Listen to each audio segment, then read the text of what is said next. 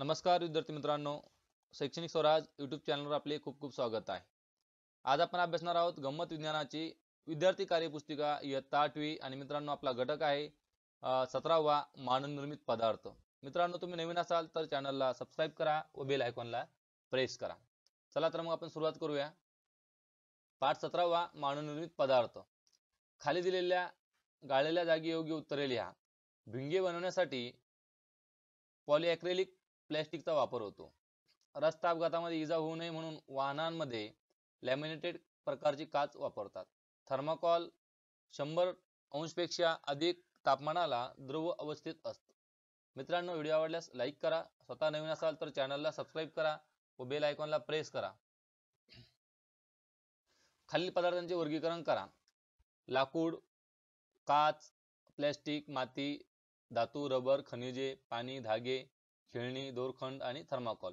याच्यापैकी मानवनिर्मित पदार्थ हे पद्धतीने आहेत बघा काच प्लॅस्टिक रबर खेळणी धागे दोरखंड आणि थर्माकॉल.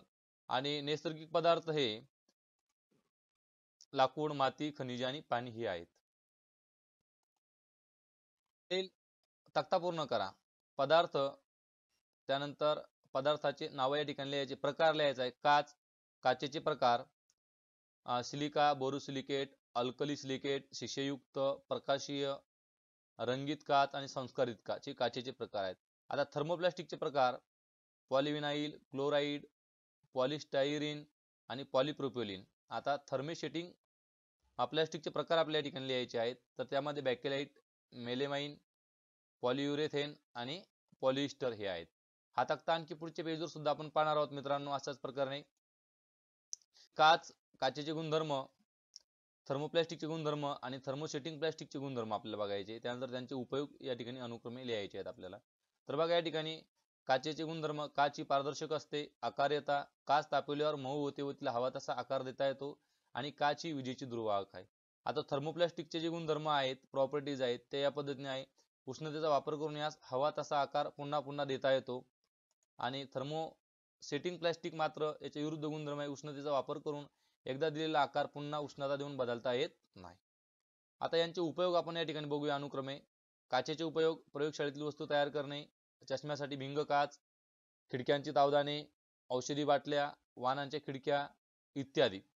थर्मोप्लास्टिकचा उपयोग या ठिकाणी आपल्याला पॉलिथिनच्या पिशवा खेळणी कंगवे प्लॅस्टिकचे ताट द्रोण इत्यादी निर्मितीसाठी.